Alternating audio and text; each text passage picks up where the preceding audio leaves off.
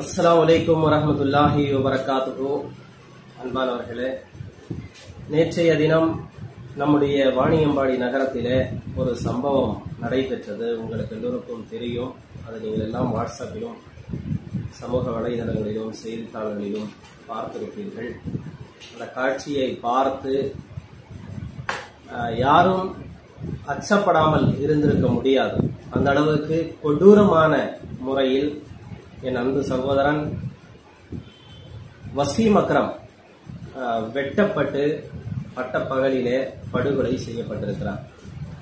அவர் வெட்டப்படுவதற்கு இந்த அளவுக்கு கொடூரமாக கொல்லப்படுவதற்கு என்ன காரணம் என்று சொன்னால் ஒரே காரணம்தான் சமூக தீமைக்கு எதிராக அவர் போராடினார்.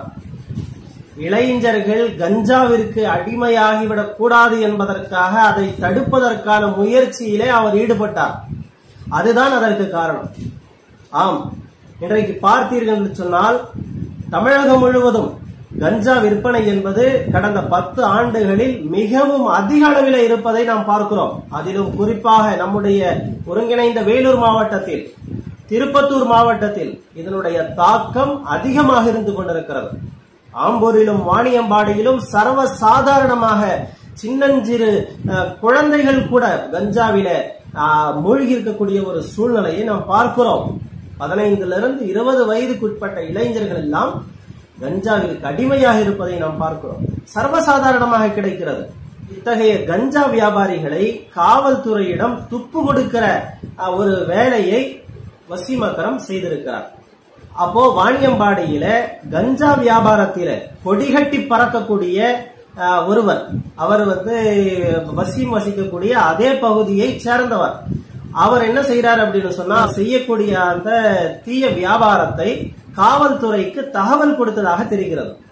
அதற்காக காவல்துறை கடந்த ஜூலை இருபத்தி ஆறாம் தேதி டீல் இம்தியாஸ் என்று சொல்லக்கூடிய அந்த நபரின் குடோனிலே அந்த நபரின் வீடுகளிலே சோதனையிலே ஈடுபடுகிறார்கள். அதிலே சுமார் எட்டு கிலோ கஞ்சா பறிமுதல் செய்யப்படுகிறது. பத்து பட்டாக்கத்திகள் எடுக்கிறார்கள். நான்கு பேரை கைது செய்கிறார்கள். விலை உயர்ந்த செல்போன்கள் எல்லாம் பறிமுதல் செய்யப்பட்டு செய்திகளிலே செய்தித்தாள்களிலே வருகிறது.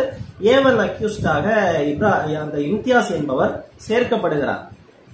அவர் தலைமறைவாக இருந்து கொண்டிருக்கக்கூடிய சூழலில் காவல்துறையின் இந்த நடவடிக்கைக்கு வசீம் அக்ரம் தான் காரணம் என்று அங்க வந்து பேசப்படுகிறது. வசீம் அக்ரமை திட்டமிட்டு இந்த டீல் இம்தியாஸ் என்று சொல்லக்கூடிய அவர் அவரும் அவருடைய அணியைச் சேர்ந்தவர்களும் கொன்றதாகவே நாம் எல்லாம் பார்க்கிறோம். காவல்துறை நேற்றைய தினம் துரிதமாக செயல்பட்டு இரண்டு பேரை கைது செய்திருக்கிறார்கள். மீதம் இருக்கக்கூடியவர்கள் தப்பி ஓடி இருக்கிறார்கள். அவர்களையும் தீவிரமாக காவல்துறை தேடி வருவதாக காவல்துறை கண்காணிப்பாளர் அஹ், திரு சிவி சக்கரவர்த்தி நம்மிடம் தெரிவித்திருக்கிறார்.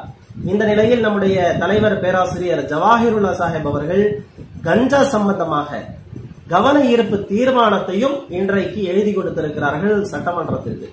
கஞ்சா வியாபாரம் என்பது திமுக ஆட்சிக்கு வந்த பிறகு கொஞ்சம் குறைந்திருக்கிறது. அதிலும் மிக குறிப்பாக திரு சிவி சக்கரவர்த்தி அவர்கள் கண்காணிப்பாளராக பொறுப்பேற்றதற்கு பிறகு கிலோ கணக்கில கஞ்சா பறிமுதல் செய்யப்பட்டிருக்கிறது. ஆம்பூரிலும் வாணியம்பாடியிலும் பல இடங்களிலும் கிலோ கணக்கில் பறிமுதல் செய்யப்பட்டு அதை வைத்திருந்தவர்களை காவல்துறையினர் கைது செய்து நடவடிக்கை எடுத்து வருகிறார்கள். இது பாராட்டத்தக்க ஒரு விஷயம்தான்.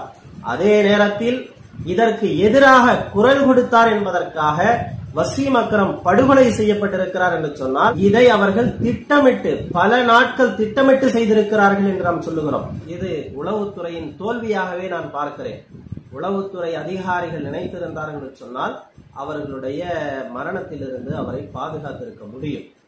ஏன் என்று சொன்னால் யார் யாருக்கோ இன்னைக்கு வந்து ஆயுதம் தாங்கிய காவலர்கள் பாதுகாப்புக்கு வழங்கக்கூடிய அரசு இப்படி ஒரு முக்கியமான துப்பு கொடுத்தார். அவரை அவரின் மீது ஒரு கோபம் இருக்கிறது. அவருடைய உயிருக்கு பாதுகாப்பு இல்லை அச்சம் இருக்கிறது என்கின்ற ஒரு தகவலை உளவுத்துறை அதிகாரிகள் தெரிந்து கொண்டு அவர்கள் வந்து அவருக்கு பாதுகாப்பு அளித்திருக்க வேண்டும் என்பதுதான் என்னுடைய ஒரு விஷயம். இதற்கு மேலாவது இத்தகையவர்களுக்கு நீங்கள் பாதுகாப்பு அளிக்க வேண்டும் என்ற நேரத்தில் நான் கேட்டுக்கொள்கிறேன். மாண்புமிகு தமிழக முதல்வர் திரு மு க ஸ்டாலின் ஐயா அவர்களுக்கு தாழ்மையான ஒரு வேண்டுகோளை நான் விடுக்கிறேன். என்ன என்று சொன்னால் இந்த கஞ்சாவிலிருந்து இளைஞர்களை நீங்கள் மீட்டெடுக்க வேண்டும் என்று இந்த நேரத்தில் நான் வேண்டுகோள் விடுக்கிறேன். நீங்கள் வந்து சிறப்பாக ஆட்சியை செய்து கொண்டிருக்கிறீர்கள். நல்ல ஒரு மக்களாட்சியை நீங்கள் வழங்கி கொண்டிருக்கிறீர்கள். இந்த சமூக தீமையை தமிழகத்திலிருந்து நீங்கள் ஒழிப்பதற்கான அனைத்து விதமான முயற்சிகளிலும் நீங்கள் ஈடுபட வேண்டும் என்று அன்போடு கேட்டுக்கொள்கிறேன். பல குடும்பங்கள் பல குடும்பத்து இளைஞர்கள் இதற்கு அடிமையாகி கிடக்கிறார்கள். இது மிகப்பெரிய ஒரு மாஃபியா கும்பல் இதற்கு பின்னால் இருக்கிறது. ஒரு இம்தியாஸ் மட்டும் இதற்கு பின்னால் இல்லை. பல சக்தி வாய்ந்த கும்பல் இதற்கு பின்னால் இருப்பதாகவே நாங்கள் அஞ்சுகிறோம். எனவே நீங்கள் இதற்கு தனி கவனம் செலுத்தி மீண்டும் ஒரு கொலையோ மீண்டும் ஒரு இது போன்ற சம்பவமோ நடக்கா வண்ணம் நீங்கள் பாதுகாக்க வேண்டும். அனைத்து அரசு அதிகாரிகளுக்கும் நீங்கள் உத்தரவிட வேண்டும். அனைத்து காவல்துறை உயர் உயர் அதிகாரிகளுக்கும் நீங்கள் உத்தரவிட வேண்டும். இந்த கஞ்சா என்பது வசீமுடைய மரணத்தோடு முடிந்து விட்டது என்ற நிலையை நீங்கள் ஏற்படுத்த வேண்டும் என்று தமிழக முதலமைச்சர் அவர்களுக்கு நான் வேண்டுகோள் விடுக்கிறேன்.